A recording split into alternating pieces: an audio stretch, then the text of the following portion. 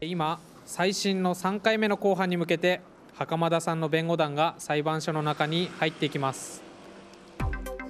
事件から57年袴田さんの再審の3回目の公判が今日静岡地裁で開かれ一般傍聴席27席に対し108人が並びました。今朝取材に応じた姉秀子さん。寝ていた袴田さんを起こして静岡地裁に向かったといいます。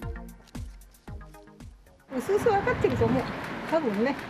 何も言うわけじゃないもんでまあ何時間かかるか知らんが長々とやるだろうと思う、ね、利点のいるね肝心なものですからまあ慎重に聞いております。1966年旧清水市で一家4人が殺害された事件で死刑が確定した袴田巌さん。先月27日から始まった再審公判で検察側は犯人は味噌工場関係者の袴田さんで犯行着衣は味噌タンクに隠したなどと袴田さんの有罪を主張。一方弁護団は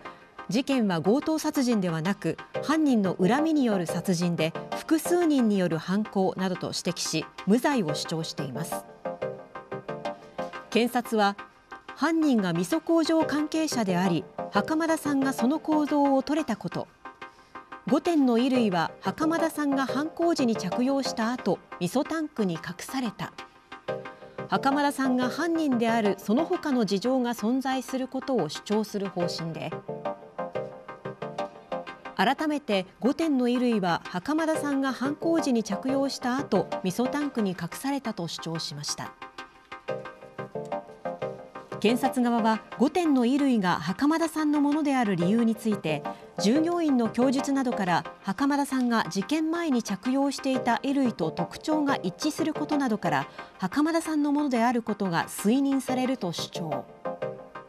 さらにズボンの友切れが袴田さんの実家から発見されたことなどから5点の衣類は袴田さんのものであることを決定づけていると説明しました。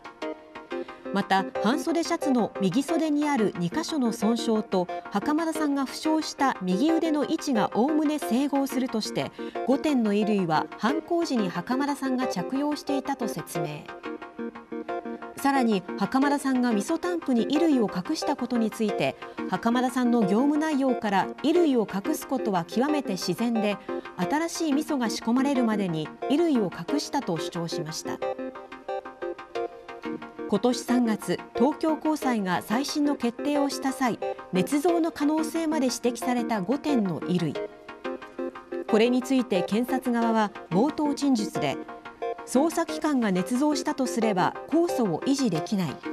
捏造が公になれば信頼が失墜するなどとして捏造は非現実的で実行不可能であると反論しています。争点となっている結婚の色問題などについては年明けから議論される見通しです。